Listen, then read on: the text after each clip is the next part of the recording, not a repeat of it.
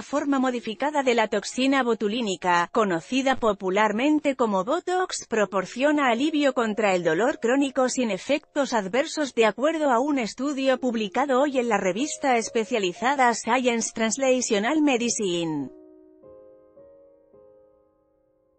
Los investigadores de la Universidad College de Londres, UCLY, deconstruyeron la molécula botulínica y la volvieron a ensamblar con un tipo de opioide, que resultó en un compuesto que silencia las señales de dolor en la médula espinal de ratones, inyectado en la columna vertebral, alivia el dolor crónico, como el causado por el daño a los nervios, y evita los eventos adversos de tolerancia y Adicción a menudo asociados con el uso repetido de drogas opioides, explicó el autor principal, Steve Hunt, de la UCLY. Lee también, mientras unos regalan juguetes, Kim regala Botox según el investigador. Esta nueva mezcla no afecta los músculos como la toxina botulínica utilizada para reducir las arrugas, pero sí bloquea el dolor del nervio durante hasta cuatro meses sin afectar las respuestas normales al dolor.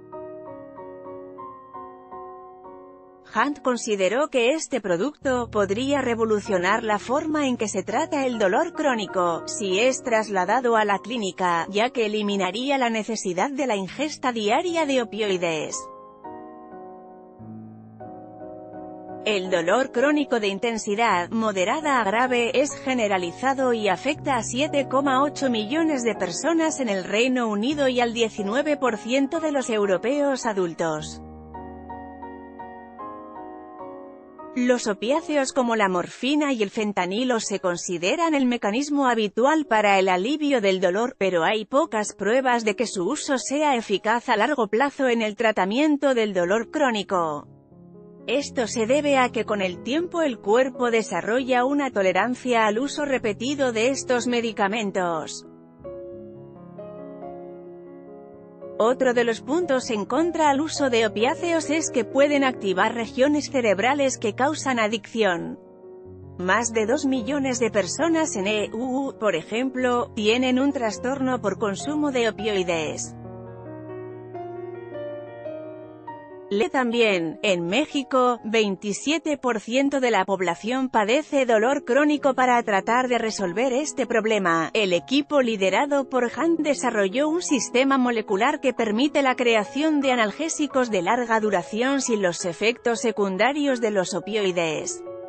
Durante un período de cinco años, usaron 200 ratones para simular las primeras etapas del dolor neuropático e inflamatorio humano y se trataron con una sola inyección de la mezcla, otra modificación de la molécula botulínica o morfina.